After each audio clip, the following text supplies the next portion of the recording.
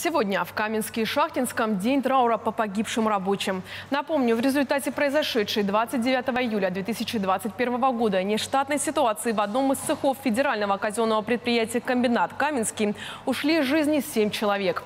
Сегодня губернатор Василий Голубев подписал распоряжение об оказании материальной помощи семьям погибших. Родственники получат по одному миллиону рублей. Ранее глава региона от имени регионального правительства выразил соболезнования их родным и близким.